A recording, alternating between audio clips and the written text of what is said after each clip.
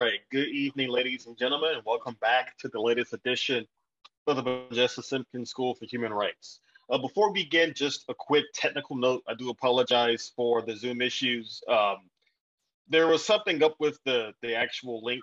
Uh, I my personal theory is that apparently even Zoom is taking a stance against critical race theory, but I digress. Um, so uh, glad to see folks are able to join us successfully this evening. Um, but this is the age we live in of technology where even Zoom is not entirely trustworthy. But let's get on with the show this evening. Tonight, of course, uh, we are going to talk about a pivotal era in South Carolina history, going from the Revolutionary War all the way to the end of Reconstruction.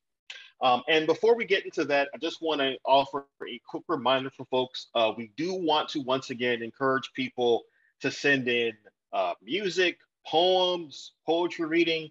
It could be a reading of something that has already been written, uh, whatever you wish. We just want to see uh, folks in the class uh, kind of get their creative juices flowing as we search for more introductions and endings to the class. And this evening, in fact, you're going to see one of your fellow students and what they've produced as well. We want more folks to send things in.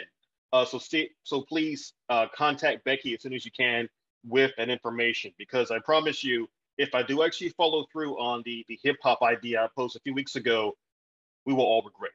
So please get something in uh, the next uh, few weeks. Uh, okay, so the end of the Civil War. Right, apologies. All right, so got a lot to cover tonight. Um, so let's go ahead and get started. Uh, and what I really want to, to drill into everyone this evening, and this is one of the themes of the course, is that the state of South Carolina is one of the most pivotal places in the new United States in terms of crafting ideologies that are going to affect peoples across the country and across the world for centuries to come.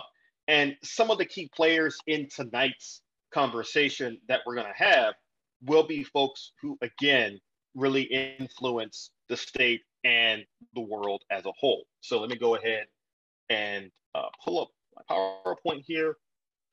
And tonight, it's it's going to be really a two-part discussion. Number one, we're going to cover the era from Revolutionary War until the actual secession crisis of 1860, and then we're going to get a bit into the Civil War. And at that point, I'll, I'll finish up, uh, take questions, of course, in the chat, and we'll go from there. So I'm really excited about tonight's conversation. Let's go ahead and get started. So the last couple of weeks, we have really built up to where South Carolina is in the middle of the 18th century. Um, and as a quick, quick refresher, when we're talking about this period, uh, we do want to take a step back to just before the Revolutionary War. Uh, and as your readings also point out, to think about the importance of the regulator movement, for example, that takes place in the 1760s. As you might recall, the regulator movement was essentially an expression of discontent from farmers who were leaving the low country and going towards the interior of South into the Midlands and the upcountry.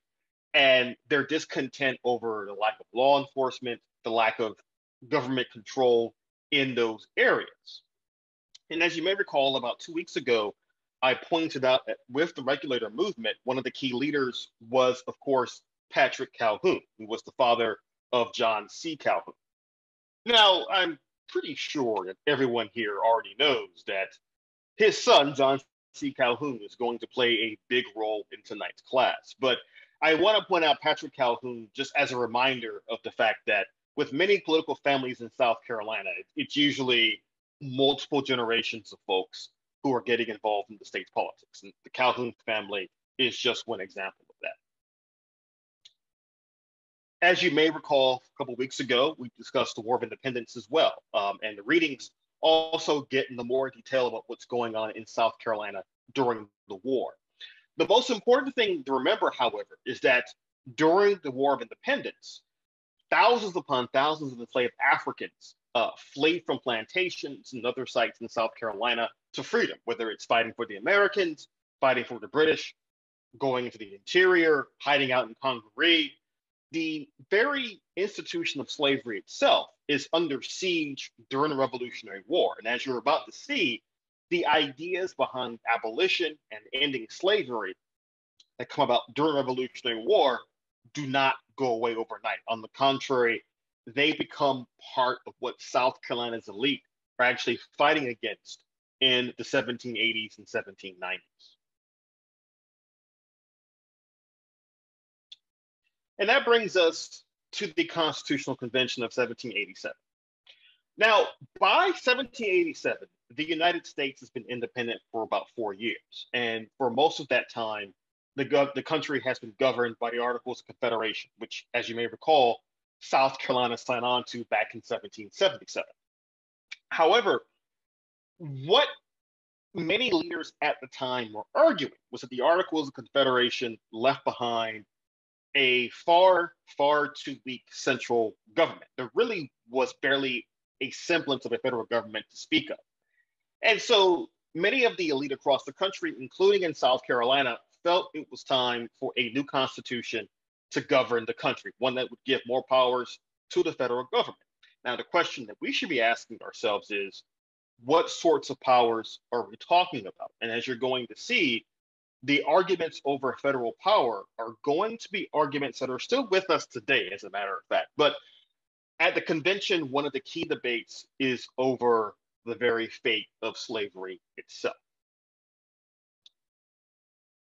Now, South Carolina ends up sending a delegation that includes the following individuals Charles Pinckney, Pierce Butler, Charles Cotesworth Pinckney, and John Rutledge. Now, all these individuals, they had experience in government and politics stretching back to the Revolutionary era, and for some of them, even before that. But when they joined the Philadelphia for the convention in 1787, they are all united around one principle, even if they disagree on various aspects of how the Constitution should work. Uh, they all agree on one important thing.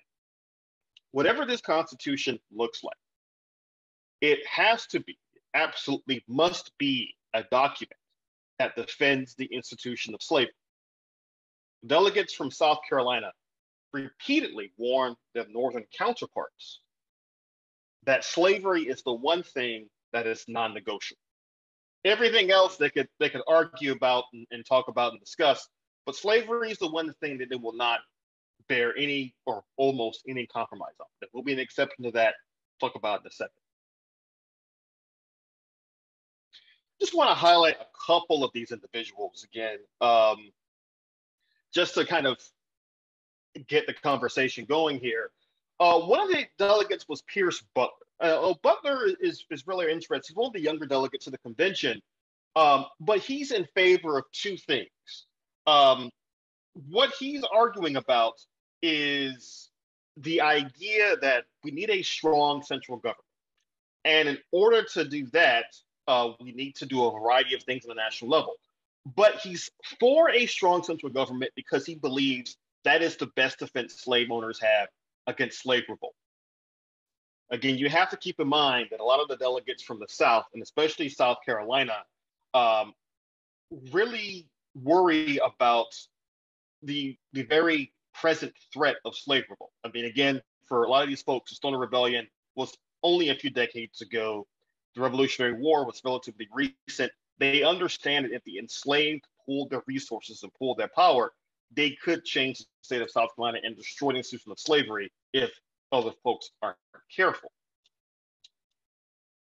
Also, you have Charles Cotesworth Pinckney, um, who like the other delegates, is trying to create a stronger central government, one that can actually be respected by foreign powers. Um, but at the same time, he, like Butler and the other delegates from South Carolina, are also greatly concerned uh, with protecting the institution of slavery. Um, because again, they believe that a strong national government is absolutely essential for defending the institution of slavery. On the other hand, Pinckney is also willing to compromise on one thing. Uh, he is willing to say that we could compromise on the issue of the slave trade itself, of importing enslaved Africans from West Africa and the Caribbean, uh, if it will buy us more time to protect the institution of slavery as it exists within the South right now. Now, I, I, know that a lot of us have already gone over this before in civics courses in, in K through 12 or in college. But I want to bring up the Virginia plan just very quickly because it does come into play when it comes to the institution of slavery. Um, one thing about this is that the Virginia plan was really a way to kind of give the bigger states more representation in Congress. Again, at the time, there was this idea that the bigger states like your Virginias, your Pennsylvanias, and New Yorks, being larger in population, uh, deserved more representation. Uh, this was, of course, opposed by the New Jersey plan, which had one legislature, each state having one vote. This is closer to what the old Articles, Articles of Confederation was. Now, we all know about this part of the compromise. I think we've all heard about this before. We learned about it before in, in school and, and et cetera. But what I want to add to this is that at the same time as the Virginia and New Jersey plans are being argued about, there is also a debate going on at the convention about inserting into the Constitution a fugitive slave clause. Now, this is important to thinking about how the federal government works because the argument that Pinckney and Butler are saying is that if we're going to have a truly powerful central government, one of its responsibilities has to be capturing enslaved Africans and bringing them back to their owners in the South. By 1787, there are already several northern states, most notably, Pennsylvania, that have either already abolished slavery or are on the road to abolishing slavery. And the fear many Southern delegates have at the convention is that unless there is a mechanism put in place that forces the federal government to get enslaved Africans back and send them back to their slave owners, then the problem of runaway slaves is going to be one that they will not be able to solve. Now, some Northerners like James Wilson of Pennsylvania and others oppose the fugitive slave clause. They argue that the government should not have a right to interfere in bringing slaves back to their slave owners. But other Northern delegates decide to agree with the South to get this compromise through for the sake of getting the larger Constitution uh, agreed to and sent back to the states for ratification. And again, this idea, this question of the ending of slavery is a really important. By 1787, these are the states that have either abolished slavery or have created a mechanism for gradual abolition. That is, they've set a date by which if you're an enslaved person, by this date you'll be free. Or if you're an enslaved person and you have children, your children will be free if they're born after this date, that sort of thing. Well, by 1787, Vermont, Massachusetts, Pennsylvania, New Hampshire, Rhode Island, Connecticut have all abolished or are about to abolish the institution of slavery. And by 1820, numerous other northern states, such as New York, for example, will also create laws and guidelines about the gradual abolition of slavery. And so, if you're a delegate from South Carolina, or if you're a plantation owner from South Carolina, you are well aware of the fact that slavery north of the Mason Dixon line is well on its way to extinction.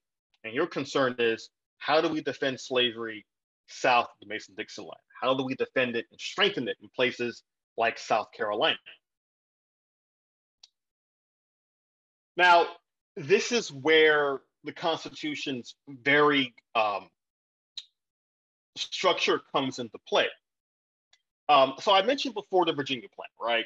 Uh, and I mentioned before one of the delegates being John Rutledge. Now, Rutledge actually serves on the committee that modifies the Virginia plan somewhat. Originally, the Virginia plan created two houses of Congress, both of them decided by um, population.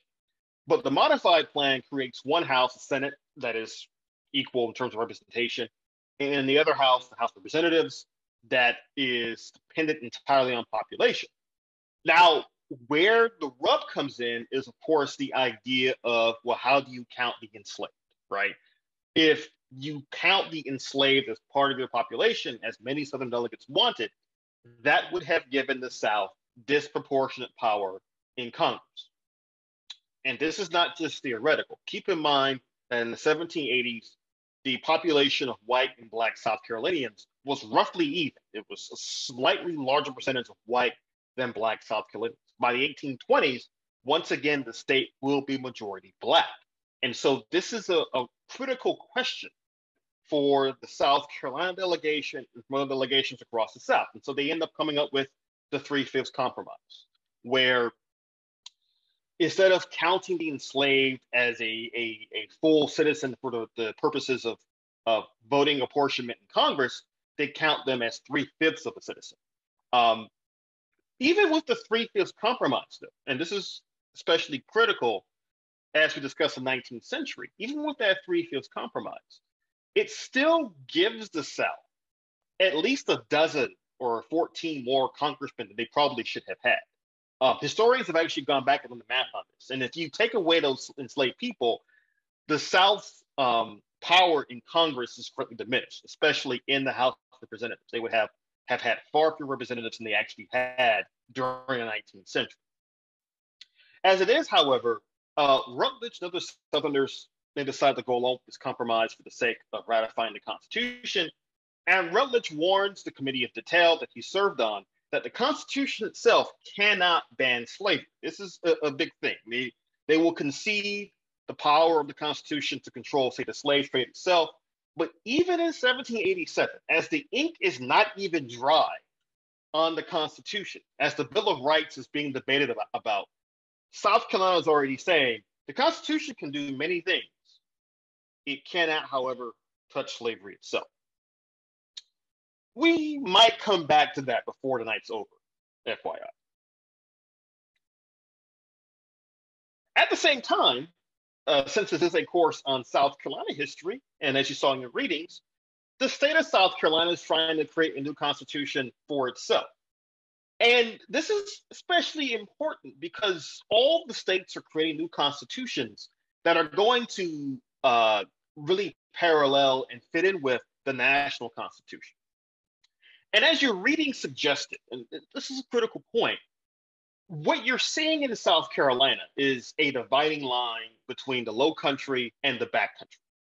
Um, we discussed this with the regulator movement in the 1760s. This comes a bit during the Revolutionary War, but a big part of South Carolina's political history, in addition to the issues of race that we will continue to discuss, in addition to the issues of ideology that we'll also discuss, there's this geographic dividing line between the low country and the rest of the state. And as you can see with the, the state constitution 1790, this comes into play time and time again. Uh, to make a long story short, the folks in the back country are begging the delegates from the low country to give the back country more support, to give them more political power in the state government.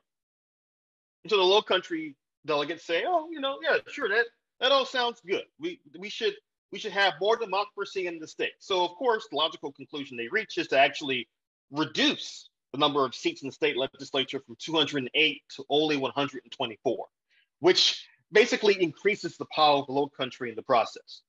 As you can see here, property qualifications to hold office actually become more onerous. You have to own at least 500 acres of land and 10 slaves, or hold at least $11,000 worth of real estate holdings to actually run for and hold office in South Carolina. Things, in fact, get so tense that the delegates from the, the state decide to actually create essentially two state governments. I mean, they have one governor, one legislature, and so forth, but they have two state treasurers, one in Columbia, one in Charleston. They have other key offices in Columbia and Charleston as well. Uh, again, Columbia was a relatively new city. It had just been founded in the 1780s because of the fact that the backcountry delegates had argued during and after Revolutionary War that it was unfair to them that the state government was located in Charleston. So, of course, the solution to that problem was to simply create two state government offices, some in Charleston and the rest in Columbia. So, as you can see, South Carolina uh, is having some growing pains in the 1780s and 90s. While it's able to speak with one voice on a national level to defend slavery, at home, there are a lot of questions being raised about what the state's going to look like for the next generation of South Carolinians. Uh, even the very question of slavery itself takes on a different tenor and tone on the state level. Um, of course, with the 1790 Constitution, slavery plays an important role. Um, there's again a divide between the low country and the back country there is fear amongst low country delegates from Charleston and elsewhere that the backcountry is becoming a hotbed of anti-slavery agitation. A big reason for the, or two big reasons for this are the following. Number one, most of the folks living in the backcountry are actually independent yeoman farmers. And so, what wealth they're able to create and craft, they often do so without the direct use of enslaved people. Now, you are going to see the slave enslaved population increase in the, the black country as well, especially as Dr. Edwards mentioned last week, once you start seeing more cotton being grown in the upcountry. But secondly, religion plays a role in this too. You do have a small Quaker population in the upstate. You have other religious denominations like Methodists, etc., who are also staunchly anti-slavery. The problem, however, is that even with the anti-slavery sentiment trickling upward in the upstate, every delegate from the backcountry in the General Assembly owned slaves. So again, while there is some anti-slavery sentiment in South Carolina, least of all from the enslaved themselves, when it comes to the power brokers in the state, the state government, they were all staunchly pro-slavery. Of course, the issue of slavery in the 1790s is going to encounter its biggest test yet with the revolution in Saint Domingue happening in what is now present day Haiti in 1791.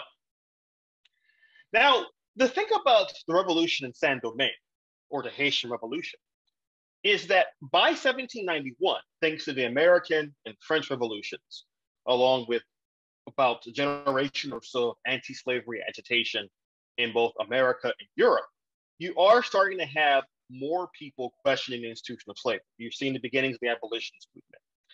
But what makes Saint Domingue different is that the enslaved themselves are doing what white slave owners feared in South Carolina for generations. They have risen in full blown revolt. Now, the Haitian Revolution could be a class or two or three by itself. It is an incredibly pivotal moment in the history of the Western Hemisphere and history of the world. If you haven't, I would highly recommend reading C.L.R. James, The Black Jacobins, if you want to get more information about Haitian Revolution. But what I will say here relates to South Carolina specifically. Now, the white plantation elite in Saint Domingue, when the revolution breaks out in 1791, they look for help from all comers. They look for help from the French government back home in France. They look for help from the United States, look for help from the British. Anyone willing to help them put down a slave revolt, they appeal to. And one of the interesting things about the Haitian Revolution is that the plantation elite in Saint Domingue reach out to, amongst other places, South Carolina. They make a direct appeal to the state assembly in South Carolina for uh, weapons, for supplies, even for troops. Um, and Governor Pinckney has this great line. He says about the revolution and about their communication with them, quote, their communications are of an affecting nature, being a country of similar possessions. And so Pinckney and other South Carolina leaders acknowledge that the Haitian Revolution is important to them because that same sort of revolution could very well happen in South Carolina. And so the state government of South Carolina decides to send weapons, to send aid, everything except the state militia. Uh, because I think the folks in South Carolina weren't that desperate to defend slavery in Saint Domingue. They're willing to send everything else except actual troops, uh, which was probably the smartest thing this state has done um, up through the antebellum period. Because if they had sent troops, they would have died alongside the French, the British, the Spanish, and everyone else who tried to put down the revolt and failed at doing so.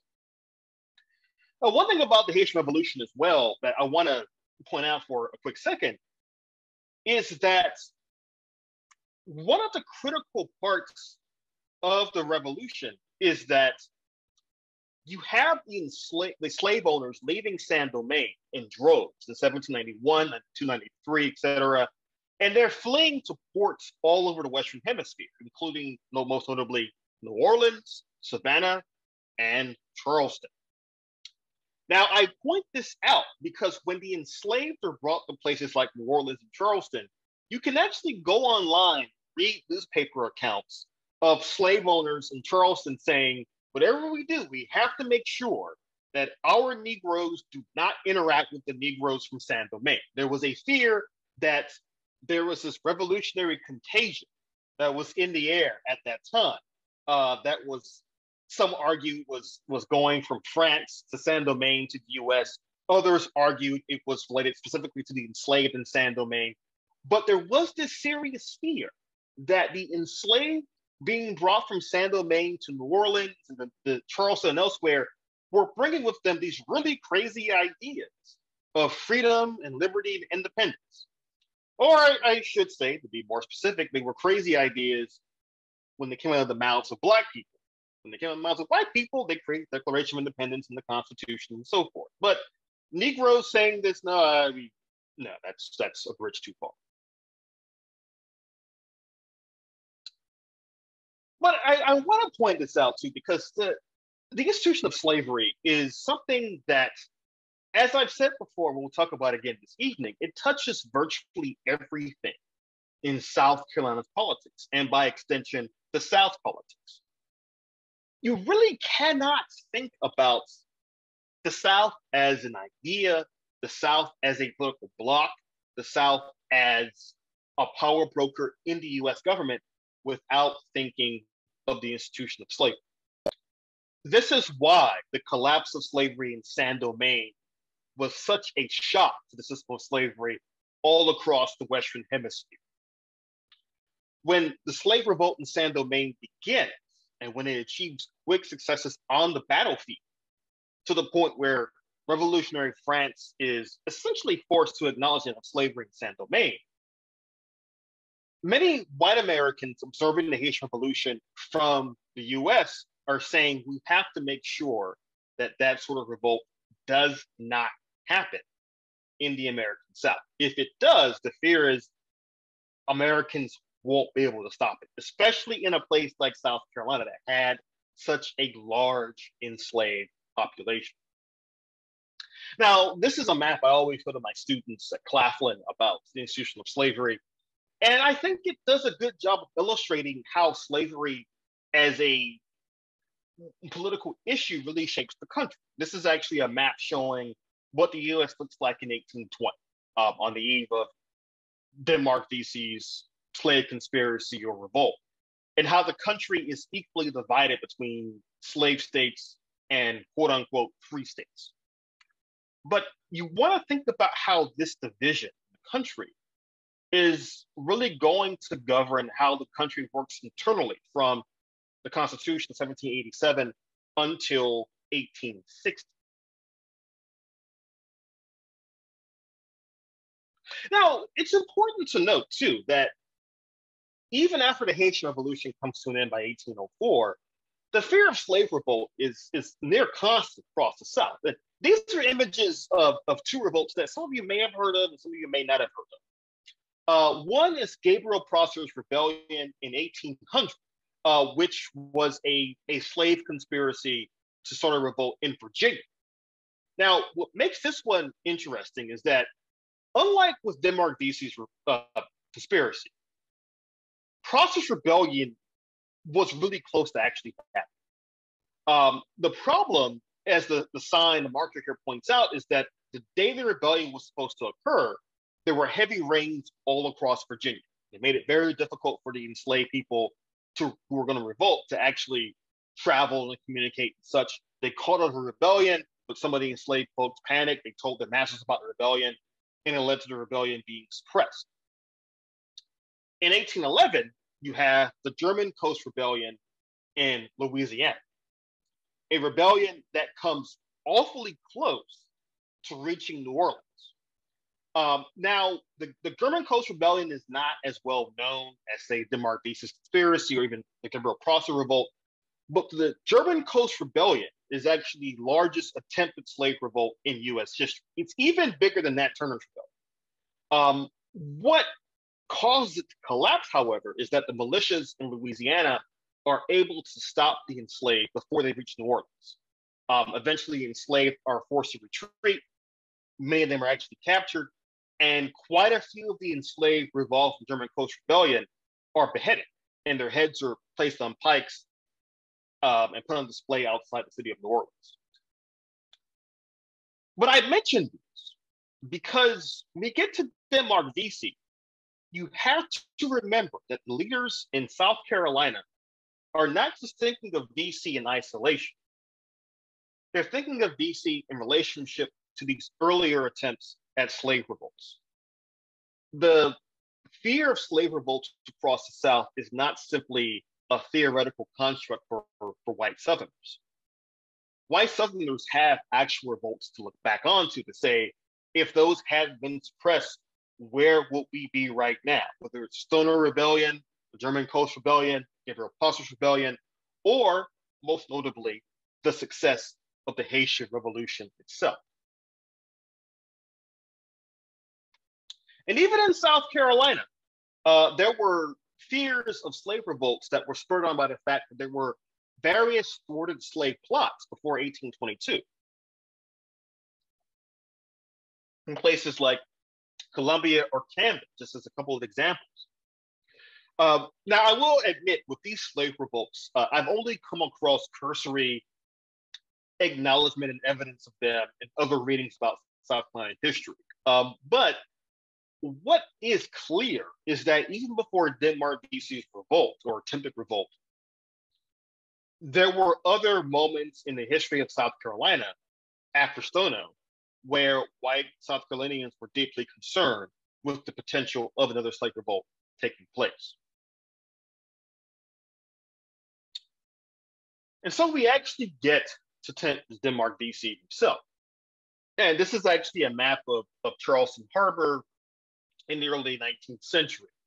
Now, the thing about Vesey, for those who don't know, uh, is that Vesey himself was born into slavery. He was eventually able to purchase his freedom.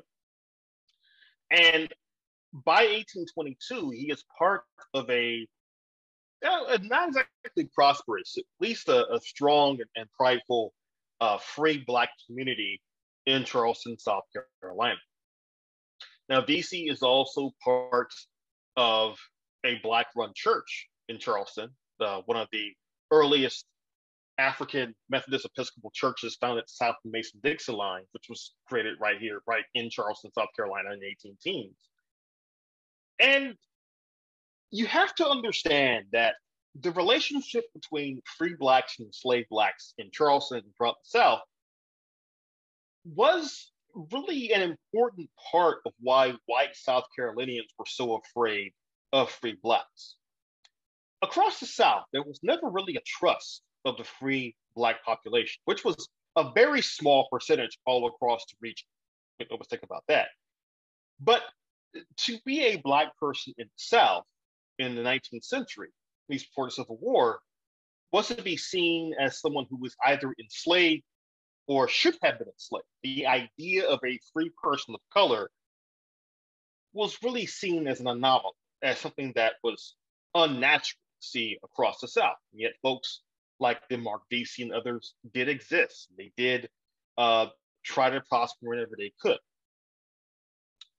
Now, the thing about Denmark Vesey is, is, is this, and I think we had this conversation some last week talking about Vesey. Um, but what is important note amongst historians today is that there is serious debate about whether or not there was actually a full blown conspiracy to spark a slave revolt in place when Denmark Vesey and his co conspirators were captured and executed for the supposed crime of planning a slave revolt in 1822. Uh, for many decades, many generations, the idea of there being conspiracy was taken for granted. But in the last 60 years or so, maybe even earlier than that, numerous historians have gone back to primary sources, namely looking at court case documents, looking at testimonies of those involved in the conspiracy, and so forth. And the conclusion that has been reached uh, by many, and this is most recently noted by, by Lacy Ford, a historian emeritus at USC, is that there likely was not a full blown conspiracy led by Vesey. But the importance of Denmark Vesey's conspiracy is in the fact that white Charlestonians were so afraid of a potential conspiracy that they felt something had to be done in 1822. Again, you cannot look at the Denmark Vesey conspiracy in isolation. You have to remember that the last 20 years before that, uh, white Charlestonians had experienced the Haitian Revolution. They had encountered so-called refugees from Saint Domingue who brought their enslaved Africans along with them. They had heard about Gabriel's rebellion in Virginia. They had heard German Coast rebellion in 1811.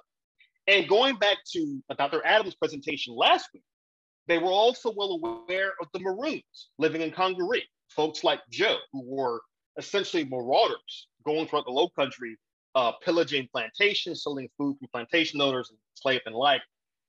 And so Denmark Vesey's conspiracy, even if it wasn't a full-blown conspiracy, even if Denmark Vesey himself had only begun dreaming up and thinking of ways to destroy slavery in Charleston.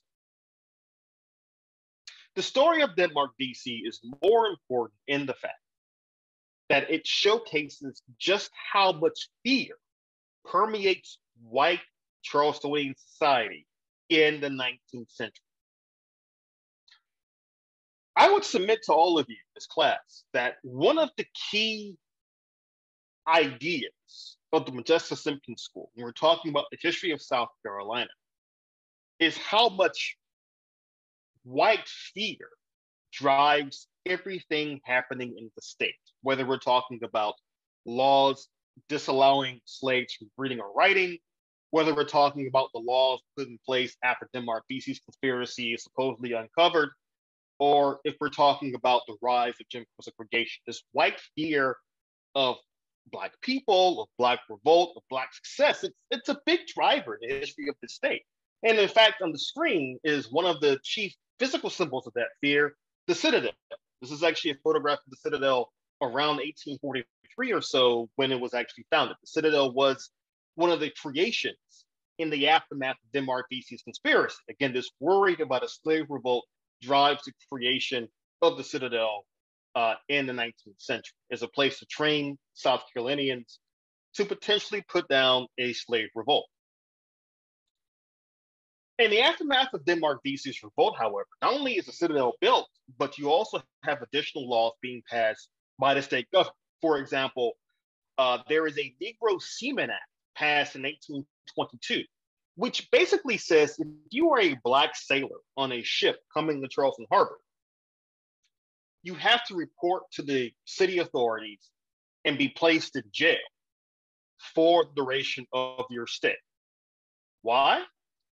One of the fears that was part of Denmark Vesey's conspiracy was that Vesey himself was conspiring with black sailors from ships coming in from across the world. There was this belief that black sailors weren't to be trusted that they brought again the contagion of liberty and freedom with them from whenever they had gone to before.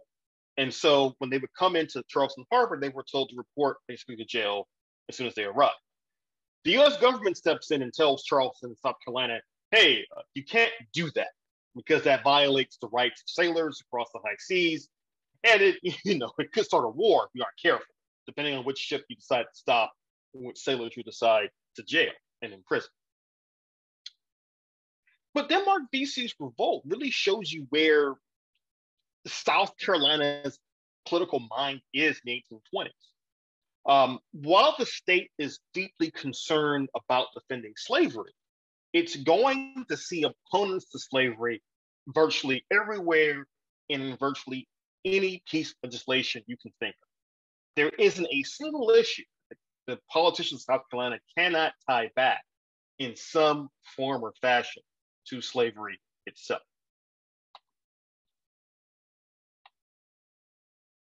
All right. Okay. Now, this concern over slavery in South Carolina, of course, brings us to one of the most important South Carolinians in the state's history, John C. Calhoun.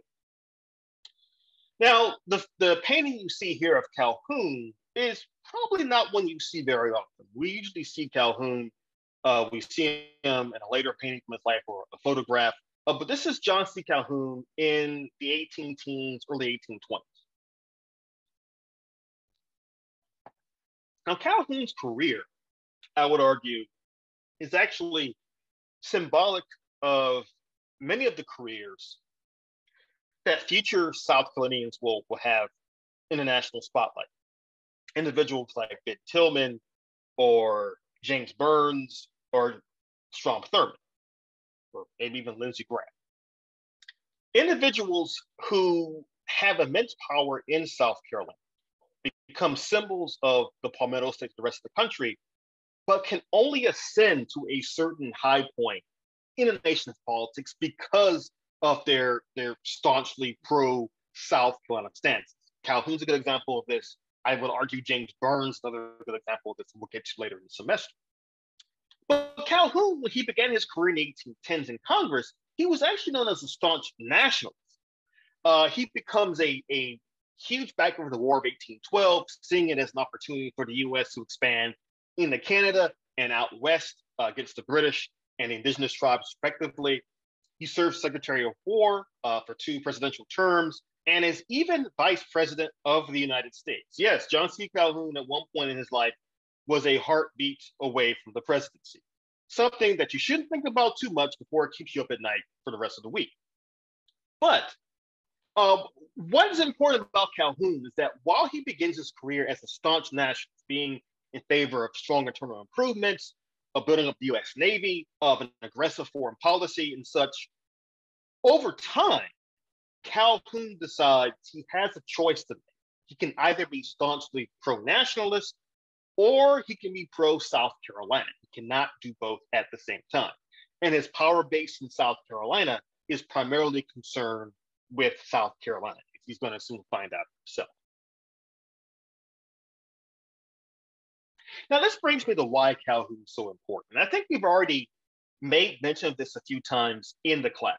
Um, so I know Brett and others have mentioned on a few times, on a few occasions the last few weeks, this idea of nullification or nullification theory.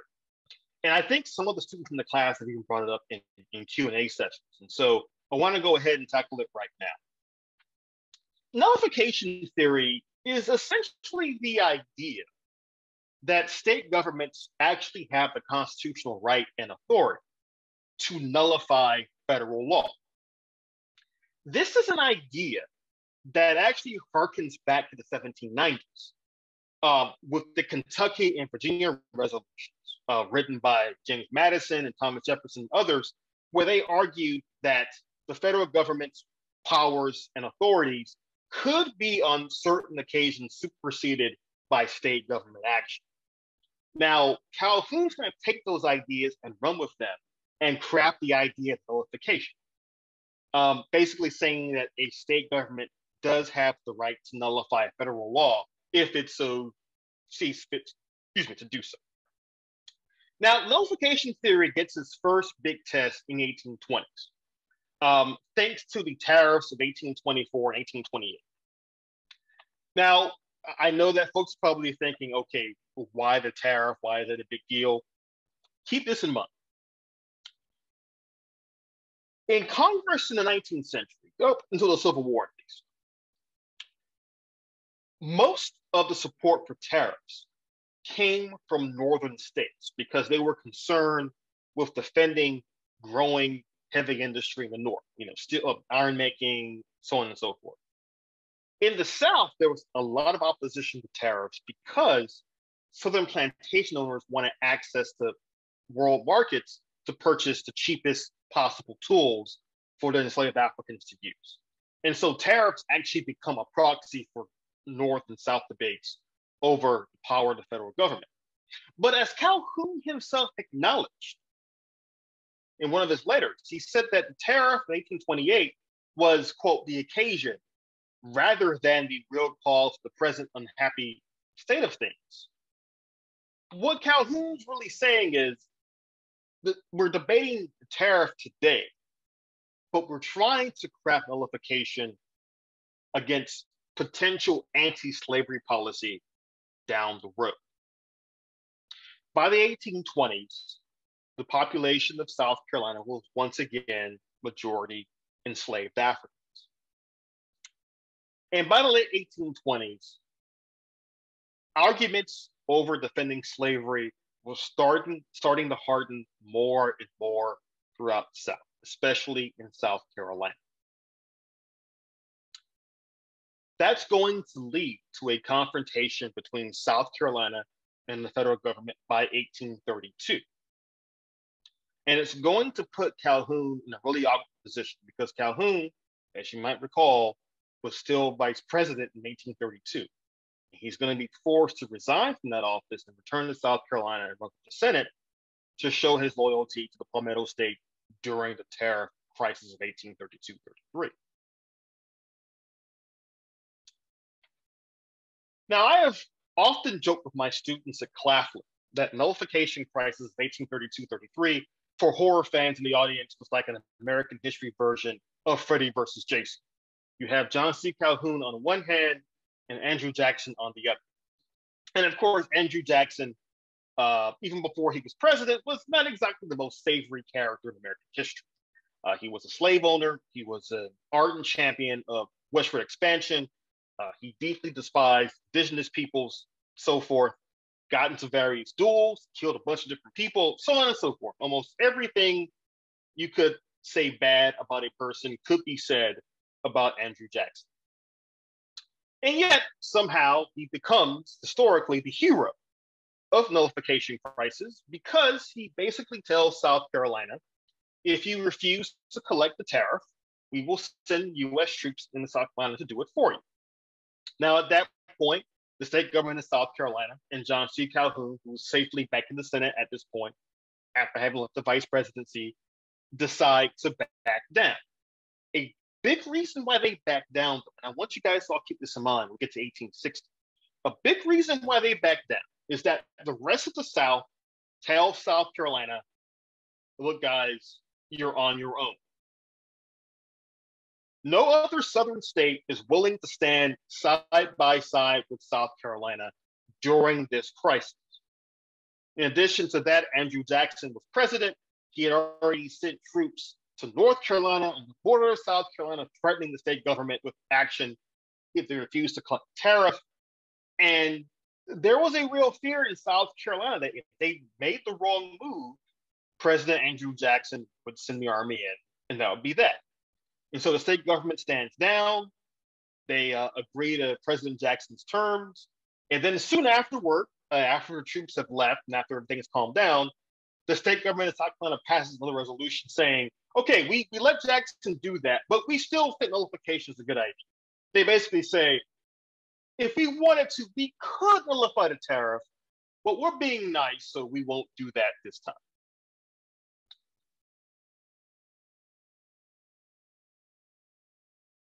Now, as I said before, you, you want to all keep in mind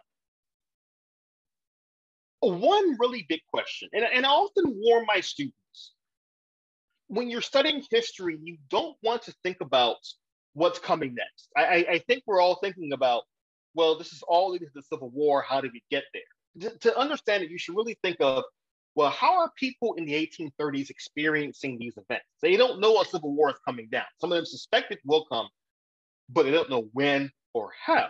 Still, it is worth asking ourselves the question why was there a civil war in the 1860s, not say in the 1830s? Again, a big part of that is that South Carolina is seen as sort of an outlier when it comes to defending slavery. The South is united around the issue of slavery, but the Palmetto State is seen as being even too extreme for other Southern states. Nonetheless, the ideas behind slavery are also evolving in the 19th century. So let's rewind for a second back to the late 18th century, to the age of the early republic and the Constitution and the new nation. The men arguing on behalf of slavery in the late 18th century, like Thomas Jefferson, for example, they would have told you they took no satisfaction, no joy being slave owners. That instead they felt it was necessary evil that was propelling American society forward economically. If, if you ever read some of the documents of Thomas Jefferson, the letters written by George Washington, you would almost get the sense that they thought the enslaved just fell out of the sky to these plantations, just started working there, just automatic, instead of the fact that these men were engaged in a system of buying and selling men and women. But by the 1830s, the ideology defending slavery has changed from just necessary evil, it's just the way things are, to this is a good thing. This is morally just, and we're going to use everything to defend it, whether it be the Constitution, whether it be Greek Roman philosophers, whether it be Christianity. We're going to use these ideological tools to say slavery is actually just and fair and a good thing. This brings me to James Henry Hammond, who is, without question, one of the most pernicious and frankly unsavory characters in the history of South Carolina, which, if you know South Carolina history, is saying a lot. Um, and I get to what I mean by that in just a second. But but Hammond, he is a governor, he's a senator from the state, and he proposes what's called the mudsill theory. This is his theory of how human relationships should work. And he uses the history of slavery in ancient Greece and Rome as his examples. He tells an audience that if you look at the history of Greece and Rome, the places that Americans compared themselves to the most in the 18th and 19th centuries, Hammond argued, well, ancient Greece and ancient Rome also utilized slavery as well. If we're going to pattern ourselves after those pillars of Western society, why can't we acknowledge slavery as an important part of that as well? And in fact, his mudsill theory is a way to look at how society, in his opinion, should work. The quote here, I think, is illustrative of that. Quote, in all social systems, there must be a class to do the menial duties, to perform the drudgery of life. It constitutes the very mudsill of society, end quote. And for those who don't know, the mudsill is often the, the lower base upon which a, a, house or a home is built. You need a mudsill as the, the foundation, and everything is built on that. Hammond's arguing slavery is simply that for Southern society. Without slavery, the South simply could not exist. Without slavery, cotton could not be king. And by the way, worth pointing out, Hammond was also the guy who coined the phrase cotton is king. So again, these ideas of uh, economic development growth on the one hand, and the ideas of mudsill theory and how society should be structured on the other, they are very tightly linked together. And men like James Henry Hammond began to propose, propose this more and more in South Carolina and nationally as a bulwark in defense of slavery. Now, very quickly, I want to make mention of the fact that Hammond was seen as an unsavory character even by the standards of his day. Uh, he was known for sexually assaulting several of his enslaved women. Uh, his wife briefly left him for that reason. And Hammond was also notorious for having raped several women from the Wade Hampton family. Um, so much so that Wade Hampton III, we'll discuss later in detail in this course, publicly accuses then Governor Hammond of raping some of his relatives. It actually hampers Hammond's political career for a decade, but after that, he is allowed to return to the Senate and resume his powerful duties there as well. And so Hammond, he is, I think, symbolic of many of the things that abolitionists and others were fighting against in 19th century America. This mudsill theory is a really powerful one, though. Um, and it helps to explain why in along with how much money is coming out of slavery, why more and more white Southerners are de- de- defending slavery more and more strenuously during the 19th century. In the late 18th century, if you talk to, say, Thomas Jefferson or George Washington or uh, James Madison, even when Pinckney's, they would have said, you know, we could see slavery ending in 20, 30, 40, 50 years. You fast forward 50 years later, and you have a James Henry Hammond basically arguing that slavery should exist in perpetuity. The defense of slavery becomes a, a chief ideological point for many Americans during the antebellum. But it's not all pro slavery advocates in South Carolina. With abolitionism slowly but surely on the rise across the country in the 1820s, 30s, and 40s, you do see folks like the Grimke sisters you see here who are starting to become many very forceful advocates against the institution of slavery.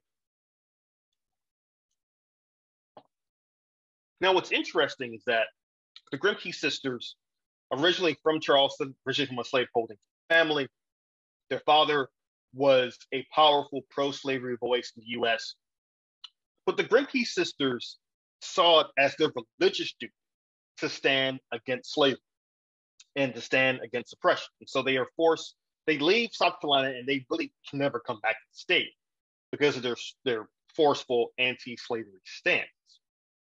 But the Grimke sisters become part of a larger network of abolitionists based primarily North who, starting in the 1830s, become really powerful voices against slavery. Now, since this is a course that is dedicated to training future activists, it is worth noting that the abolitionist movement in the United States never really gained majority support until slavery itself was finally destroyed in 1865. But folks like the Grimke sisters, William Lloyd Garrison, uh, Frederick Douglass, Martin Delany, so many others, they understood that while they were abolitionists, they were in the minority, they also understood that that in itself did not lessen the moral power of their voices and of their activism in the fight against slavery. And one of the lessons I think we'll all take away from this course on human rights and the history of human rights in South Carolina is that whether it's abolitionism or the fight for human rights in the 20th century, understanding that you're up against incredible odds makes what we all do in this course all the more important. If you were an abolitionist or more directly slave person in, say, I don't know, 1850 Charleston, you may assume that for the rest of your life, you're going to be enslaved. And then suddenly in 1865, you're not. Now, how we get there is, is a really important part of the ninth class. But the abolitionist movement faced a lot of opposition, North and South, against ending slavery. But folks like the Grimke sisters felt it was still an important and perhaps even divinely ordained mission to actually fight against the evils of slavery.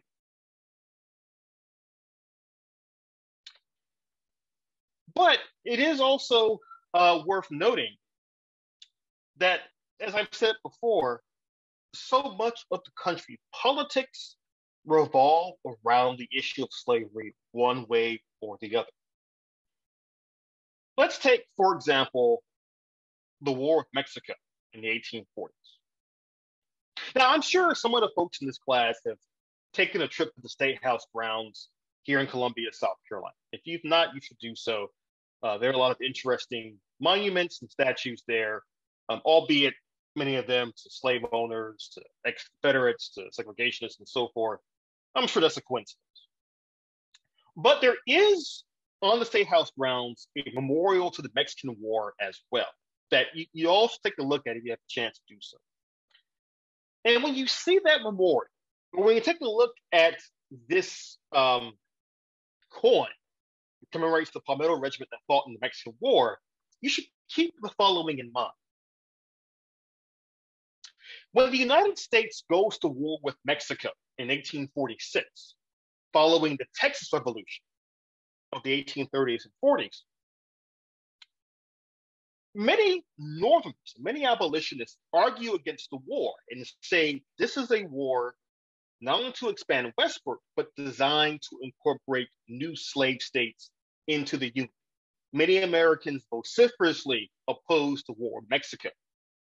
This is why, if you look at the Mexican War's statistics in terms of who serves, a majority of the volunteers in the US Army are actually from the South, including the Palmetto Regiment from South Carolina. Now, when the war is won by the United States in 1848, with the terms of America's westward expansion are finally realized, there is a sense across the country that the US has made a terrible mistake.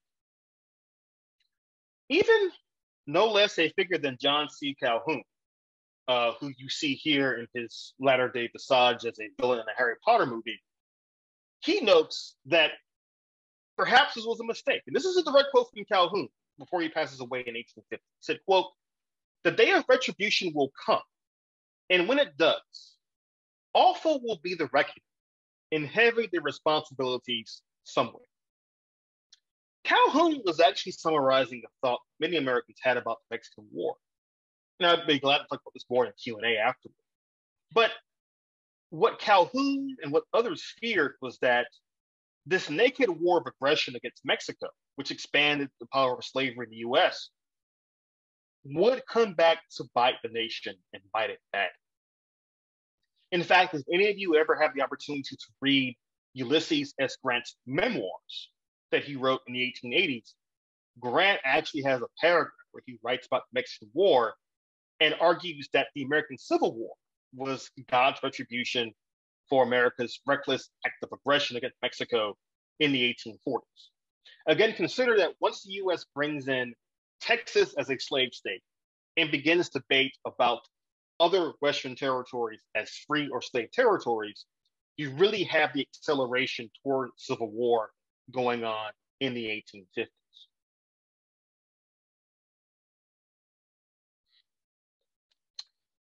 Now, in the 1850s, the US Congress is going to come up with a series of compromises. Compromise of 1850, the Kansas Nebraska Act, so forth, that are designed to basically stave off the idea of civil war over the institution of slavery. However, those compromises only briefly work. And by the late 1850s, it is becoming clear that compromises are really running out of time. So I'll give you uh, a quick example of how much things have deteriorated in Congress. In 1850, Congress comes up with the Compromise of 1850, which was a piece of legislation, really four parts, that was designed to deal with the new territories incorporated into the US after the War Mexico. Make a long story short, California was brought into the Union as a free state. Other territories be deliberated upon at a later date. But the Fugitive Slave Act was also greatly strengthened as well. When the Compromise of 1850 is signed into law in 1850, the assumption is we've saved off civil war, we've solved the issue of slavery for all time which is, of course, why by 1854, you have to have the Kansas Nebraska Act, which decided that um, Kansas we brought into the Union or brought into the Union as either a slave or free territory based on the idea of popular sovereignty. Popular sovereignty being the idea that people living in a territory had the right to vote on either being a free or slave territory it was seen as a masterstroke of democracy and so forth. But that compromise also fails because folks moved into Kansas for the express purpose of voting for either slavery or freedom. And by 1856 57, Kansas is experiencing a guerrilla war, which becomes a proxy for a larger national question over slavery. And so this brings us to the Hallett Halls of Congress itself. And in 1856, you have a serious debate on the floor of Congress over slavery. Charles Sumner, the well known, well regarded senator from Massachusetts, gives a speech on the floor of the Senate where he is basically making personal insults and remarks at South Carolina's uh, Andrew Butler. Um, however, what happens is that Preston Brooks, um, Butler's nephew and a congressman from South Carolina himself, hears the speech and is incensed by what he sees as Sumner's very nasty remarks about Butler, about the Palmetto State, about slavery, about everything near and dear to Preston Brooks' heart. And so Congressman Brooks walks to the floor of the Senate the following day, approaches Sumner's desk, and tells Sumner that essentially he is there to avenge his his uncle. And Brooks proceeds to hit Sumner upside the head with a cane, not once, not twice, not three times, but numerous times, greatly injuring Sumner and basically knocking Sumner out of the Senate for close to 18 months. And this picture you see here actually portrays the, the, the caning of Charles Sumner. As you can tell, this is from a northern newspaper because it says Southern chivalry, arguments versus clubs. Now, the curious thing about the aftermath of the caning of Charles Sumner is that in the North, abolitionists, anti-slavery advocates, even folks who don't give two damns about slavery, they are just stunned that a person was beaten almost to death on the floor of the Senate. So, of course, in the South, Preston Brooks is a regional hero. And in fact, Brooks receives hundreds of canes in the mail from admiring Southerners who said he did a good job. In fact, some actually wish he had finished the job and killed Sumner outright. But this shows you how, even in Congress, the question of slavery is becoming one that no one congressman or no coalition of congressmen can no longer hope to actually contain. And again, the, the issue of, of slavery and of violence over slavery is hitting for Congress. It's leading to a guerrilla war in Kansas between pro and anti slavery factions. John Brown rises to prominence because of this violence in Kansas. And in 1857, the Supreme Court enters into the fray as well with the Dred Scott decision of 1857, where, Judge Roger Taney makes the argument that A, people of African descent have no right to be citizens in the United States, and B, he argues that even though Dred Scott had been moved into a free state, that did not entitle him to freedom. That in fact, slave owners could actually move their quote unquote property anywhere they wished to without having to fear losing said property to anti slavery laws in those states. In the aftermath of the Dred Scott decision, and this is zooming out from South Carolina to the entire country, what I want folks to understand is that after Dred Scott, there are millions of white Northerners who, again, had no love for African people of African descent, did not consider themselves to be opposed to slavery, but they were deeply incensed by the Dred Scott decision. They felt it went too far. They felt it infringed on their states' rights to, to ban slavery or to grant freedom to those who fled to their states.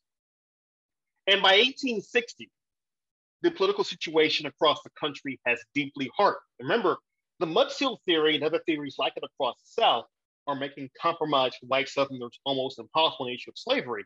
While in the North, things like the Dred Scott case, uh, bleeding Kansas, the caning of Charles Sumner, they were also angering millions of white Northerners as well and making them um, less and less likely to accept any compromise on slavery.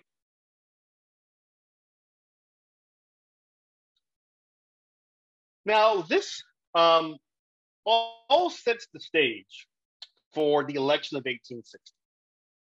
And by 1860, you've also had John Brown's raid on Harper's Ferry and what is now West Virginia, where Brown attempts to actually take over a federal arsenal and distribute weapons to enslaved Africans in the area and hopes to foment a slave rebellion there.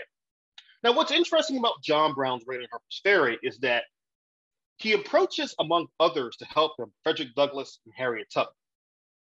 Now, Douglass says, I get where you're coming from, but this is probably not a good idea. Again, Douglass was no physical coward. He had been in fistfights before. He had fought pro-slavery advocates with, with his fist before, but he thought Brown's idea, while well-intentioned, was misguided. Harriet Tubman, on the other hand, uh, the, the great abolitionist and the woman who led hundreds of slaves to freedom, she was actually game to do it. She actually agreed to help John Brown, but on the day of the raid, uh, Tubman herself was actually seriously ill. She could not help John Brown with this raid.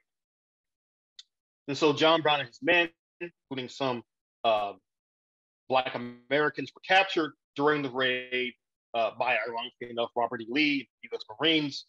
And eventually John Brown's compatriots were executed by the state of Virginia for treason.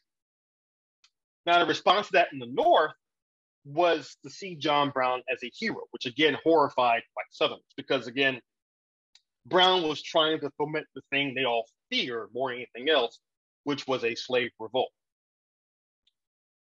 And so when you get to the 1860 election, and stop me if you've heard this before, many Americans see it as the most important election of their lifetimes. Something that's been said every four years for I think the last 20 years at this point in our own timeline.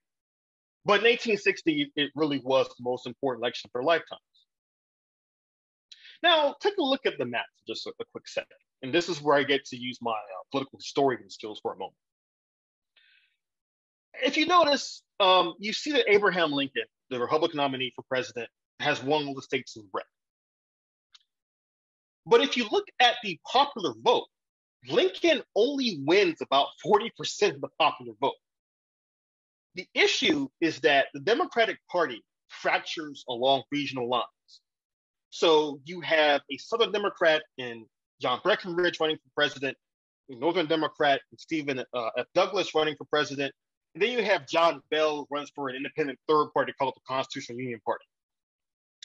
The Democrats, in short, in short, shoot themselves in the foot repeatedly during the election. Uh, their first convention in Charleston in 1860 falls apart because many of the Northern delegates are stunned by how much their Southern counterparts do not want to um, compromise on slavery. But when Lincoln wins, his victory is one of the things that folks in the South were always afraid of. They were always worried that the North population would eventually unite behind a purportedly anti slavery candidate and get that person over the finish line. And for the first time in US history, that is precisely what happens. Lincoln's Republican platform in 1860 does not argue for the banning of slavery where it exists, but it does argue against the expansion of slavery out to the West. This is too much for South Carolinians, too much for many white Southerners. Lincoln is not even on the ballot in many Southern states in 1860, and yet he still wins.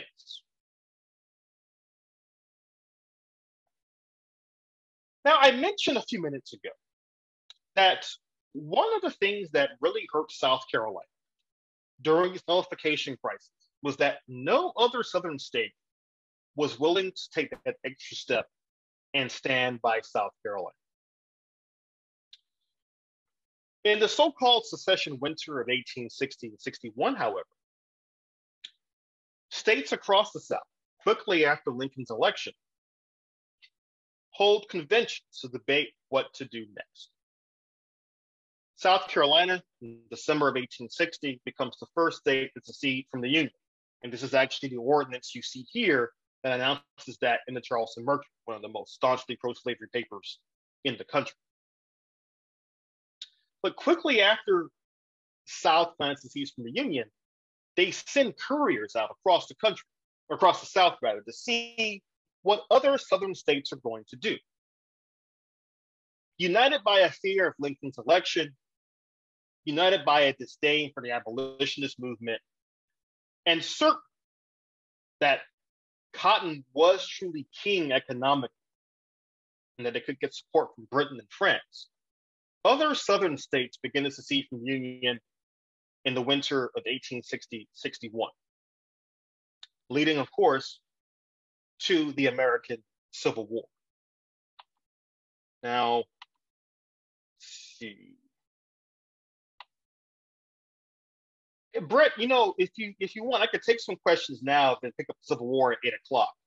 Um, so if there are any questions for me right now about this section, feel free to put them in the chat. Okay, where is the Denmark Vesey statue located? Uh, it's actually located in Charleston. Um, it's actually in Charleston. There was a big debate over whether not to put one up in the first place, but it was placed, I think, in the last few years back. It's a, it's a relatively new statue.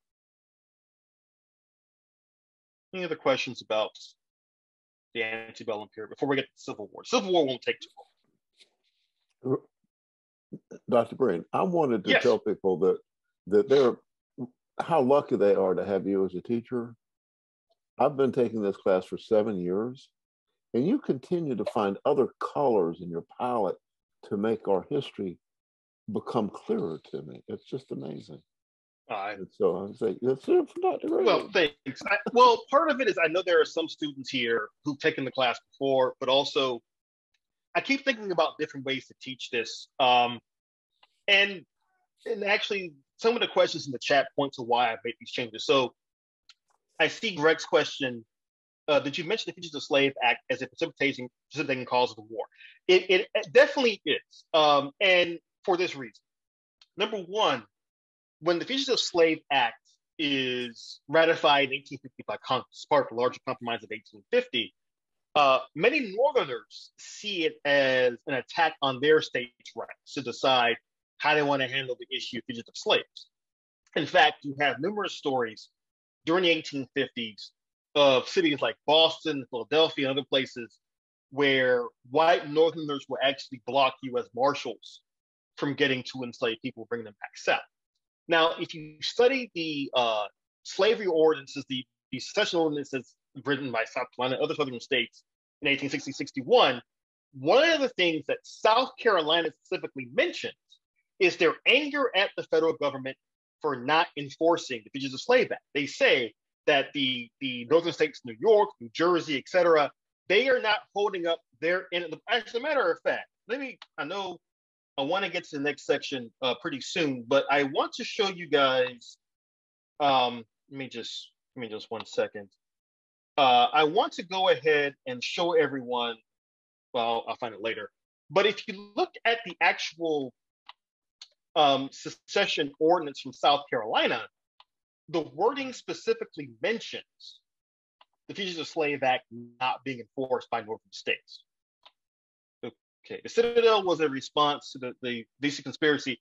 Yes, it was. Uh, the Citadel is built partly because of the fear of another attempt at a Denmark Vesey like conspiracy. It takes time for it to be built, but it was built essentially to, to stop a potential slave revolt in South Carolina. Okay, Katie asks, in the image of the German Coast Rebellion, looks like they are carrying American flags. Why? That's actually a, a really good question. Um, let's go back to that image just for a quick second, because I think it is a, a rather powerful one. Um, I do want to show an image again. Uh, so this is the picture that Katie is referring to here. Um, you know, why are they carrying American flags?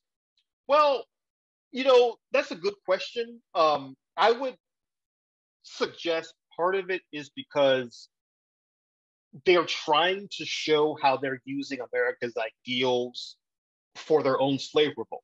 I mean, some of the enslaved are aware of the Declaration of Independence. They are aware of these ideals liberty, freedom that have come from the American and the French and the Haitian revolutions.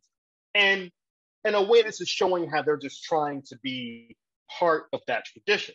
Also, keep in mind, this is an artist rendering.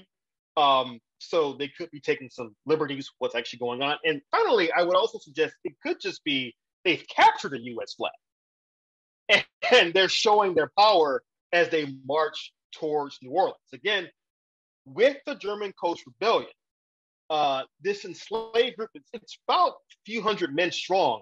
They get really close to New Orleans before they're forced to turn back. And in fact, today in Louisiana, they actually hold a reenactment of German Coast Rebellion, except in the reenactment, they actually make it to New Orleans and they actually have like a big party in New Orleans afterward to kind of say, well, what could they have created if they had made it to New Orleans during the slave revolt?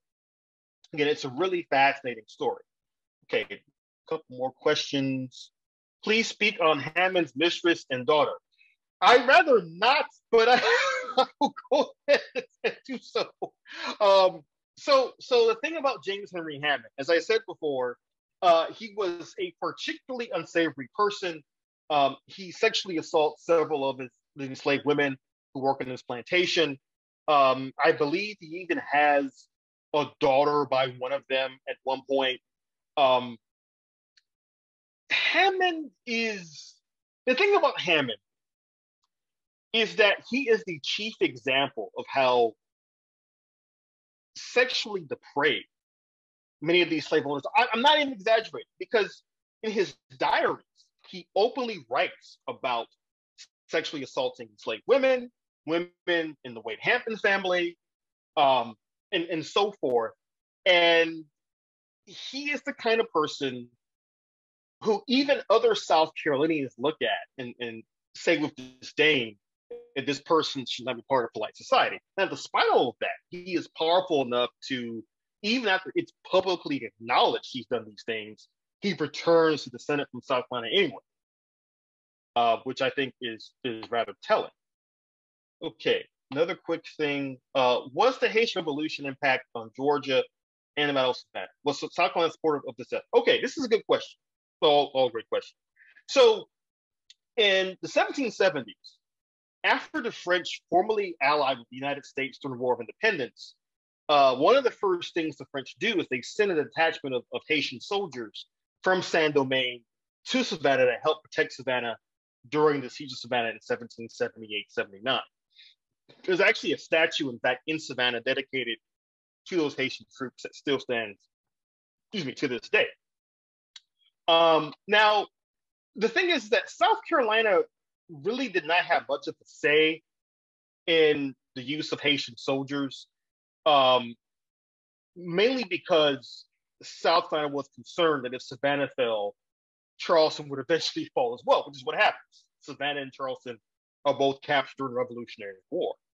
In Georgia, of course, it was support for Haitian soldiers. But to your point, um, this is actually part of the reason why South Carolina was so nervous about the Haitian Revolution, because they knew how those Haitian soldiers were during the War of Independence and feared seeing that kind of thing uh, being used against the American army during the Haitian Revolution. Okay. All right. So those were some of the questions on the antebellum period. Uh, now, what I'm going to do is quickly transition to the Civil War. This actually won't take very long because we're going to save Reconstruction for next week. But I do want to cover the Civil War uh, in South Carolina. So let's go ahead and get to that. Let me also turn the lights in my apartment. Give me just one second. Voila. Okay. So, Robert, while you're oh, adjusting yes, your lighting, I want to mention Louisa McCord at some point before we start shooting each other in the Civil War. Oh, go ahead, please. I, one of the things that I found most amazing in my studies of this particular period in time, uh, the I mean, 1848 was the Communist Manifesto. Um, I had no idea that there was an anti-socialist argument predicated for by the pro-slavery forces. It, an anti-socialist argument in the United States of America in the 1850s, predicated on the anti-slavery. And the spokesperson was a woman named Louisa McCord in Columbia, South Carolina. Dr. Greene, you want to take it from there? Oh, Dr. Greene's gone to adjust oh, well, lighting. no, this, this is this is actually well. I, I, think what I would only add to that, and, and you can give some detail as well, but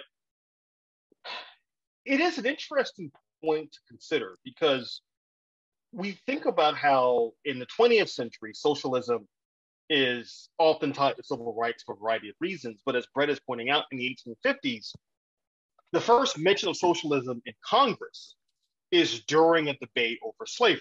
And mm-hmm. there's this fear that pro slavery congressmen are using of ideas of socialism mm-hmm. to argue against ending slavery. Mm-hmm. Um, now, on the flip side, it is worth noting that if you read some of Karl Marx's writings from that era, the 1850s, 1860s especially, Marx and other communists are coming out strongly against slavery. And in fact, during the Civil War, Karl Marx writes favorably of the Union Army and Union cause, mm-hmm. arguing that destroying slavery in the US was an important stepping stone to destroying the exploitation of labor across the world. Uh, but Brett, did you want to add any more to that? So just that Louisa McCord was um, a woman who um, was unusual at the time as she became uh, more engaged than women were and uh, particularly her husband had owned a big plantation in, in, in South Carolina and uh, became kind of a national spokesperson for pro-slavery movement at the same time that this anti-slavery movement was being pushed. But she was in Columbia, South Carolina, in a house that now belongs to Henry McMaster, our uh, governor. A little footnote. Well, okay, one last question before I get back to the Civil War. Did Hammond's mudsill theory explicitly build off other imperialist theories or caste systems that subjugate by race, class, and religion? Well, what, what Hammond was really doing, he was explicitly making appeals to America's love of ancient Greece and Rome specifically. If you look at his actual speeches and, and writings about the mudsill theory, his big thing is really talking about how the fact that the US, since it modeled itself after ancient Greece and Rome in its institutions, literally in its architecture, Washington, D.C., his argument was more based on the, on the historical idea that any great nation needed a base of slaves upon which to thrive. Um, I think I would, however, agree with you that that Hammond's theory is certainly linking to other ideas that are around the 19th century about the need of, of white Europeans to dominate the rest of the world uh, through to racial supremacy and the like. Certainly, Hammond is not running away from that. Fact, he's he's sort of embracing those ideas and combining them with his understanding of, of ancient history to give an argument to Americans about why slavery was not only good, but why slavery was good in a purportedly democratic system of government. That was one of the things abolitionists pointed out. He said, How can the US say it's the land of the free and the home of the brave? And James Henry Hammond saying, Well, we can, because to build that kind of system, you need a base of slavery to do so. You need to oppress and subjugate another group for our prosperity to continue and to endure. So, on that very cheerful note, I am now going to uh, very briefly covered the Civil War, and, and I will I will let folks know right now. Um, while I could do a whole series of lectures about the battles of the Civil War, about the campaigns in the Eastern and Western theaters, about why Ulysses S. Grant is a better general than Robert E. Lee, this Civil War lecture is not quite about those things.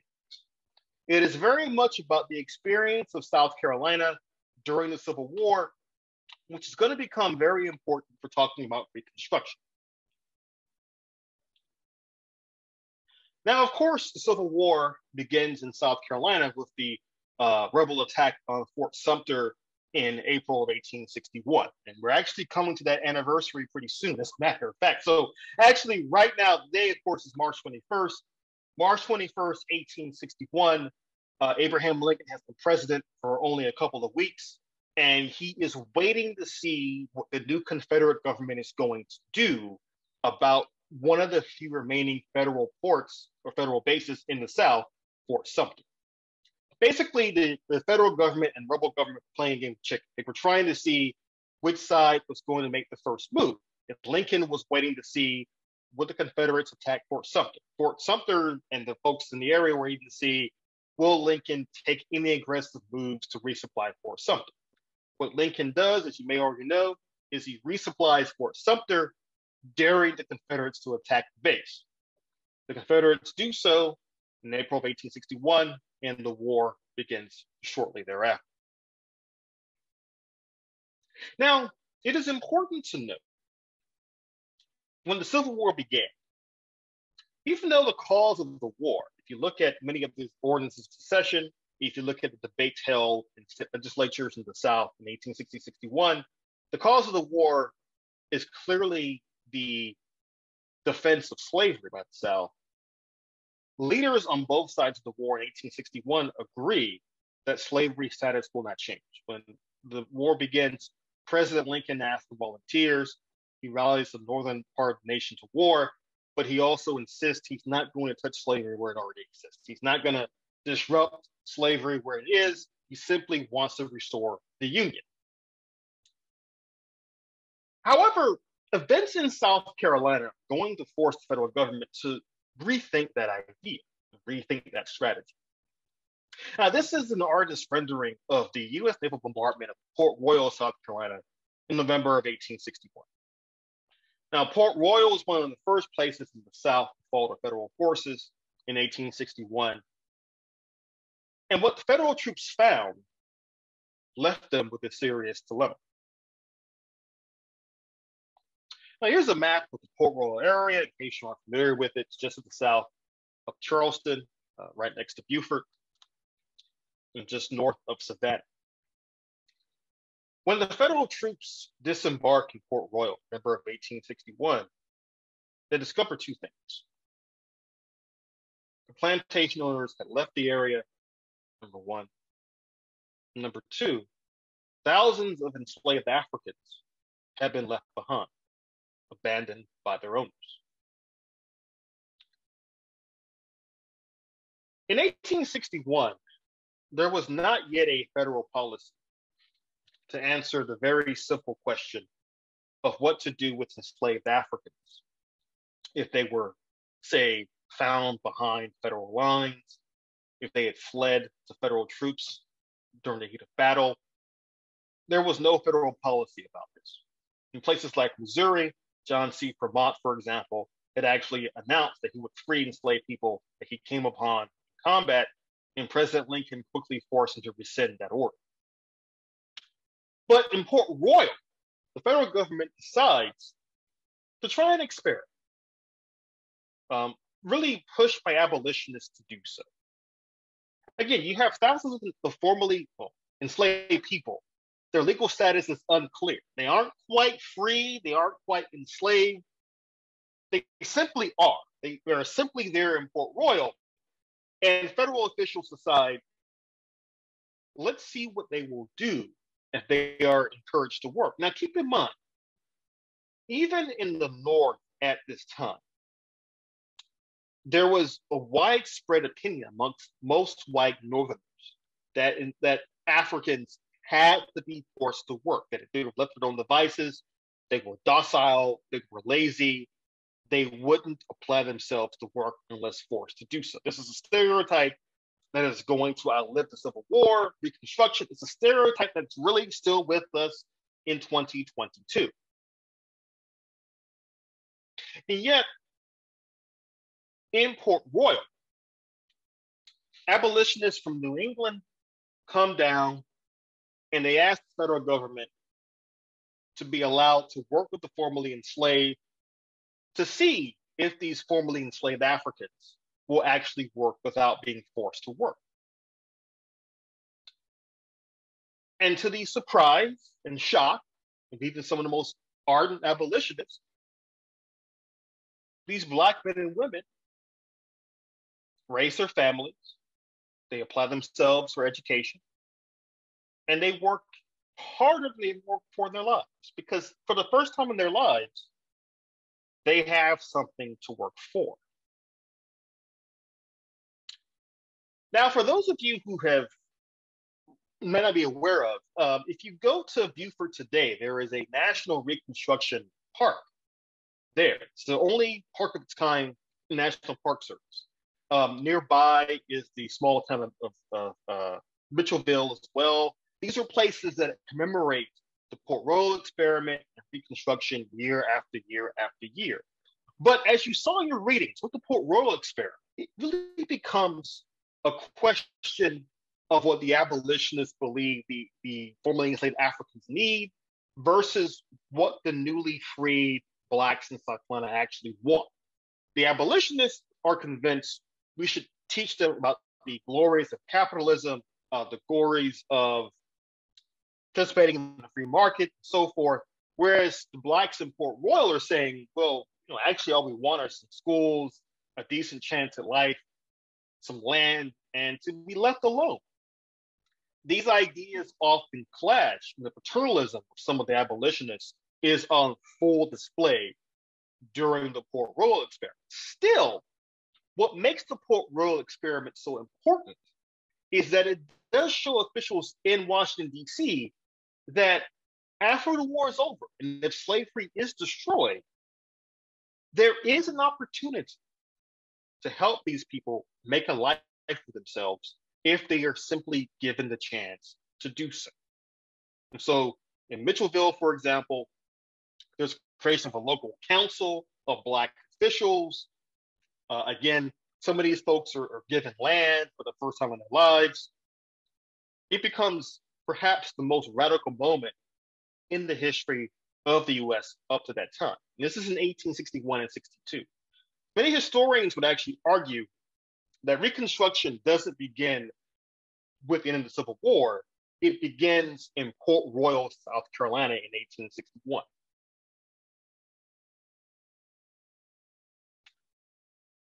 Now, most of the fighting in the Civil War, as you may already know, takes place outside of South Carolina. Uh, it takes place in Virginia, Tennessee, Mississippi, elsewhere.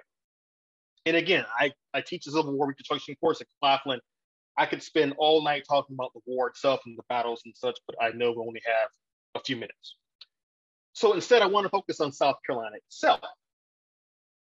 Now, during the war, South Carolina becomes one of the most ardent supporters of the Confederate government. However, as the war drags on and the Confederate Army suffers devastating defeats in the field, the war gets closer and closer to the Palmetto State in 1863 and 64. Now, I'm a native Georgian. I'm from Augusta, Georgia, just across the river. So I, I have to mention William T. Sherman, uh, his March to the Sea. And you know what's funny? This is just a, a, a quick aside. As a, as a young boy in Georgia, we learned about the, the March to the Sea in 1990s. It was us as like a bad thing. Like, oh, this, this terrible federal general marched through Georgia. And I'm like, good. it was a good thing that he did that. but what's important to note for South Carolina is that Sherman's march from Atlanta to Savannah in 1864 meant for South Carolina that the federal army was right across the river. Now, with Sherman's march the sea in Georgia, there has been debate for a century and a half over how much of that was Sherman intentionally destroying the state infrastructure, how much of it was Confederates fleeing in front of his path, trying to slow him down, et cetera, and so forth, right? When Sherman makes it to Savannah, in fact, he gets there and he decides to spare the city. He doesn't want to really destroy it. But when his troops enter South Carolina in 1865, we have numerous letters in archives from federal troops saying they were looking forward to entering South Carolina because they blamed South Carolina for the entire war. They blamed South Carolina for the deaths of hundreds of thousands of Americans in the previous four years. And they decided when they got to South Carolina, they were going to have some fun. The culmination of that fun was the destruction of Columbia in February of 1865. Uh, this picture, this photograph you see here, was taken from the heart of Columbia uh, in March of 1865 and as you can see, there's virtually nothing standing. This is uh, an artist's rendering of the actual burning of South of Columbia, South Carolina, February of 1865. With the destruction of Columbia, there is still some debate about who started it. Some believe it was federal troops, others believe it was Confederates fleeing. Regardless, Columbia is ruins, um, as is Charleston. Charleston, of course, was seen as the very bastion of slavery and secessionist attitudes, and that city was also destroyed at the end of the Civil War. And so the Palmetto State, which for generations had been the chief defender of slavery from the antebellum period, now found itself faced with the realization that as one illustrious American would say years later, the chickens had come home to roost. The state had been completely destroyed, the government had collapsed, and there was anarchy all across the state. Okay. Yet, I want to end with this point. While South Carolina's government has collapsed in the summer of 1865, at the same time, there is a newfound hope amongst many living in the Palmetto State, especially those of African descent. And In May of 1865, in fact, Black Americans living in Charleston would commemorate the federal debt and hold what is considered to be the first Memorial Day in American history of 1865. That holiday actually has its origins in Charleston, where Black Americans were celebrating the end of the war and at the same time trying to give thought and give some sense of meaning to what the war actually about. And so I want to actually end the class with this image, if I can find it. Okay, well, I can't find it. It's no big deal. But what is important to note is that South Carolina has entered a new phase of its history in 1865. It can no longer defend slavery. But the question becomes what will South Carolina stand for now? The answer to that question is one thing in 1865, means something different in 1868, means something different still in 1877, and means something totally different in 1895. But that is for our next class. All right. So with that being said, we've got about 14 minutes left. Uh, one thing I do want to say as questions come in in the, the chat section, um, I want to also mention that talking about Port Royal for a second, uh, remember that Port Royal is, is right next to Beaufort. Um, Beaufort and Port Royal in that area become really the heart of the Port Royal experiment and also become the heart of Reconstruction era thought in terms of what Reconstruction could and should have been. Uh, for example, you heard Dr. Edwards last week talk about Freedmen's Bank. Her next book is about that. The Freedmen's Bank uh, had a major branch in Beaufort, South Carolina, but that was one of the major centers of the Freedmen's Bank in the Reconstruction period. Likewise, we think about the rise of Black political power in the state during Reconstruction, which we'll get to next week, Beaufort is one of the major centers of that power, both during Reconstruction and for generations afterward, too. All right. So Beaufort, if you're from Beaufort, you should take some pride in that. But Beaufort has a, a starring role to play in Reconstruction next week. So let me take a look at the question. Okay. All right. So I, I like the, I, I, think it's funny how I, I said about 10 minutes before that I could talk about battles all night long. Of course, I'm getting questions about battles now in the chat. Okay, so were there any Civil War battles fought in South Carolina? Actually, quite a few. Uh, and this links to question two. Can you speak to the significance of the 54 Massachusetts Regiment and in South Carolina? So I can answer both these questions at once. So yes, there were battles fought in South Carolina during the Civil War. Now, in the early years of the war, 1861, 62, and 63, not that many because most of the federal government's attention is on fighting in Virginia, in the Eastern Front, and fighting in Mississippi, Louisiana, Tennessee in the West. But by 1863, the federal government starts to take serious efforts to attack positions just outside of Charleston. Again, they've captured Port Royal, right? But what they're trying to do is take the city of Charleston, which is really the South's biggest port city during the Civil War era.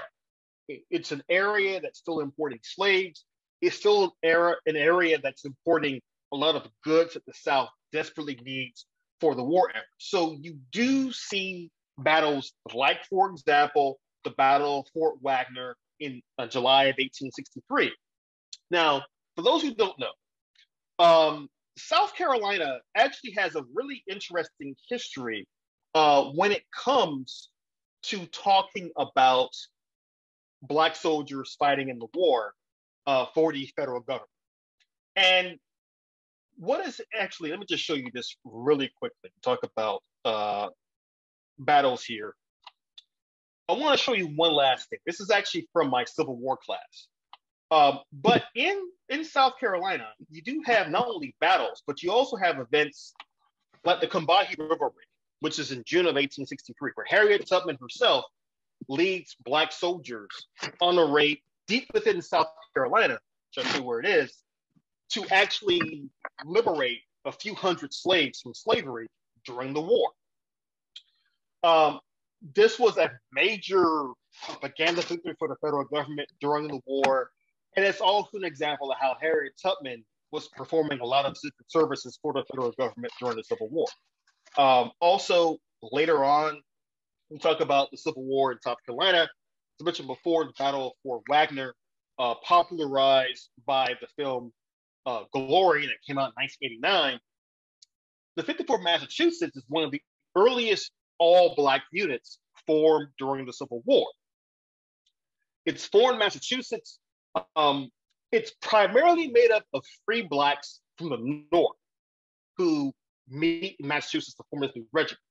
However, it is worth noting that before that, there was already uh, an all Black regiment in South Carolina called the 1st South Carolina Volunteers, which was formed actually partly from, from Black Americans that were part of the Port Royal experiment. Um, and so in the Civil War, you do see Blacks fighting in South Carolina. Uh, you do see battles like Fort Wagner. Now, Fort Wagner is a tactical defeat for the federal government. They aren't able to take fort outside of Charleston.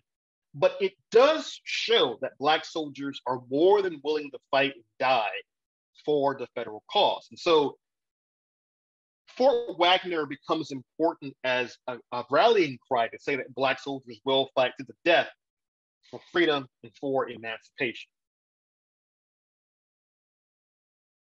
Okay, so to answer your question, uh, there are actually quite a few battles in, in Carolina during the Civil War, and there are many more in 1864 65. As the, the war is coming to an end, and as federal forces go deeper into South Carolina, you start to see more battles in the Palmetto State as well before resistance totally collapses in the spring of 1865. Okay, any other questions?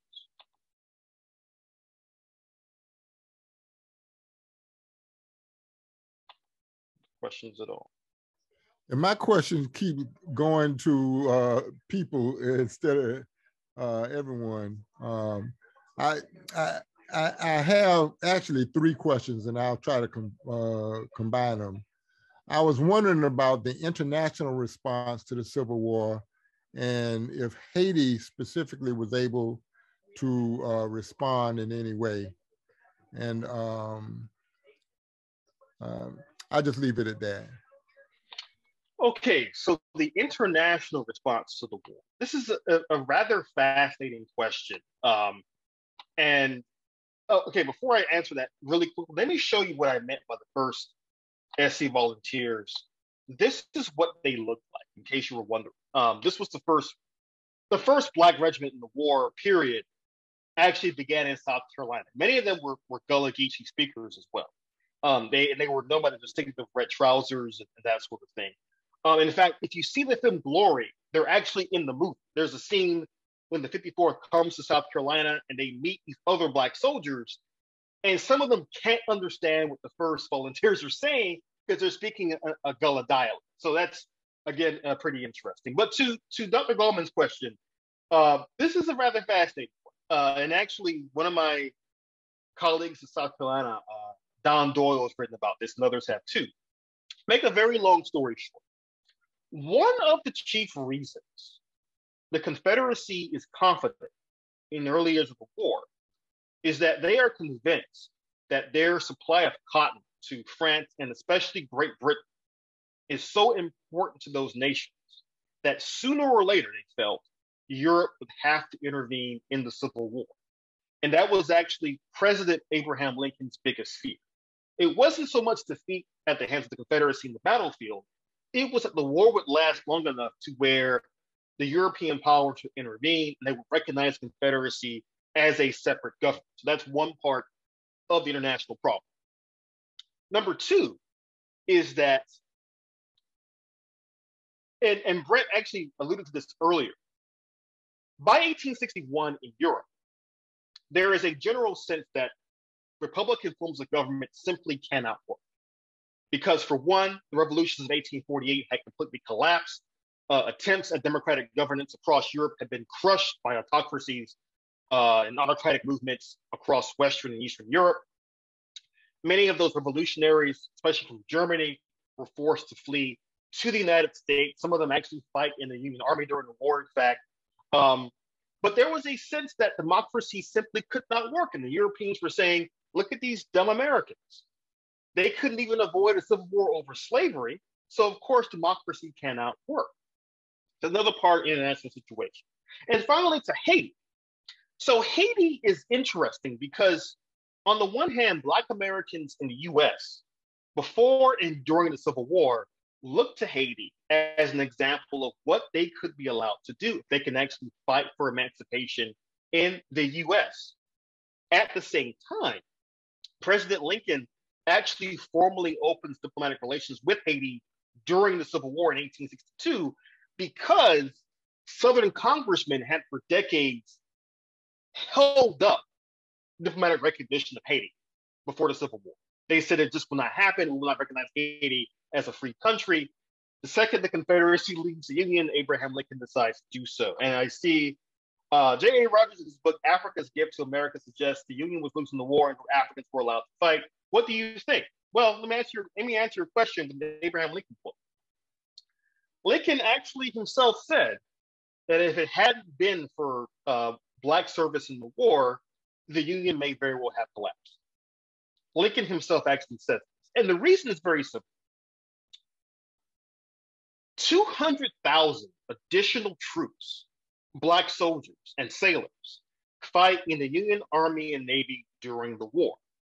This actually frees up tens of thousands of white soldiers to go fight in front lines from Virginia to Mississippi to, to Louisiana to South Carolina. And many of these Black soldiers themselves were also used in combat in South Carolina, in Virginia, in Tennessee, all over the place. Now, with Civil War historiography, I think many of you have heard that one of the reasons the federal government won the war was manpower. That's true, but it's also a bit misleading.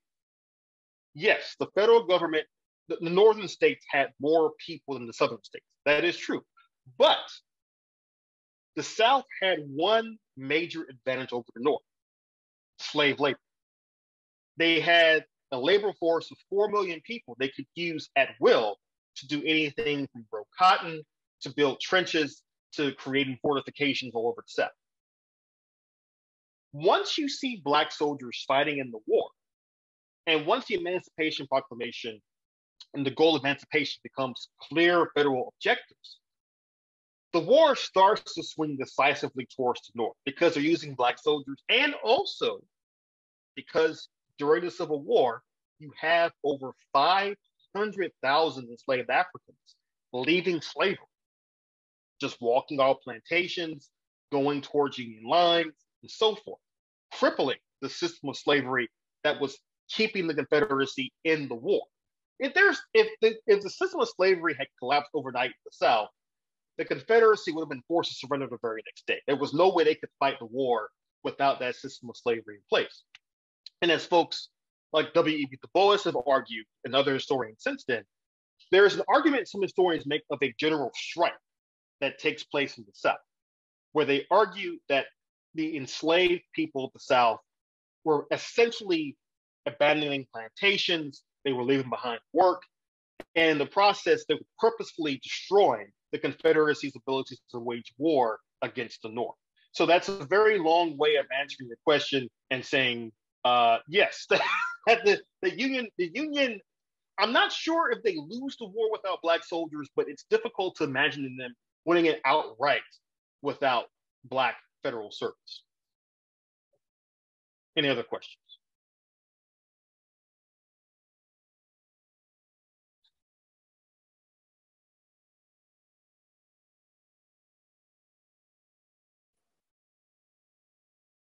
Dr. Greene, I think you've satiated the interest of our students. and we, I guess we can we can uh, give a little uh, housekeeping details about what's next. Sure. Uh, the um, the next thing coming up that all of you need to have on your calendar is this coming Sunday. Uh, it's a special one of our Sunday sessions from four to six p.m. And um, on your um, study guide that said that it would be Vernon Burton talking about Lincoln's unfinished business. But Lincoln's unfinished business has to do with combating this critical race theory pushback stuff where people are making up making up things to get upset about. And so this Sunday is going to be the, Vernon Burton be, will be joined by Armand Derfner. And Armand Derfner is the, I would argue, leading living uh, attorney who's uh, successfully fought for redistricting issues and um, Black empowerment.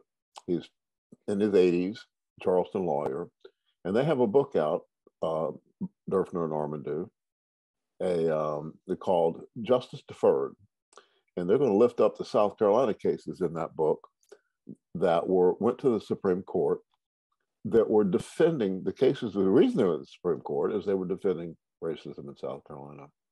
And so these people that argue that there's no systemic racism in South Carolina will be confronted with the reality that, well, here are your laws, and they were beaten in the Supreme Court.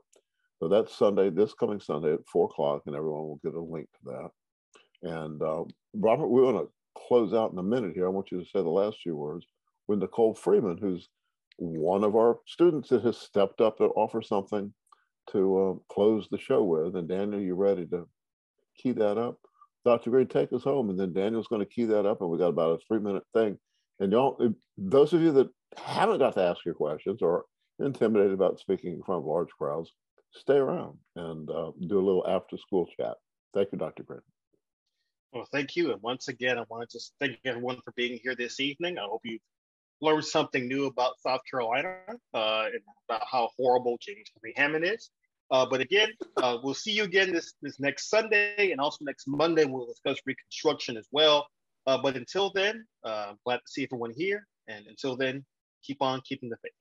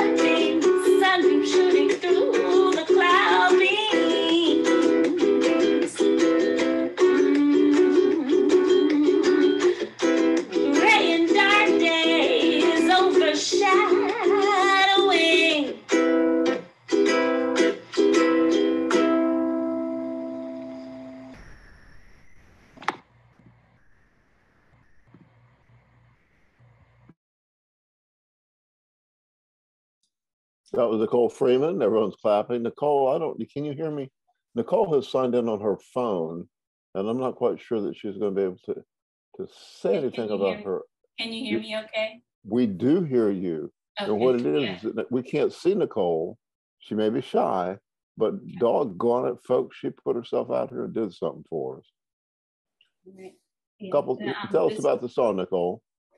Um, this was a piece that um, my my son wrote the music, and um, he asked me to listen to it, and I said, and then I felt also inspired to uh, write the words and sing the song, and we did that all in one night. Uh, and and so it's special to me because it's you know me and my son, and uh, but um, also um, mostly it's about hope, the, the, the words, about the, and I think that that also corresponds to what we're learning here. When when you learn about history, it also gives you hope. So uh, thank you for allowing me to present that. And thank you, Dr. Greene, today for, for everything you presented. Uh, thank you for a great piece of music. I really enjoyed that. Thank you, Nicole. hope, definitely hope is what we need.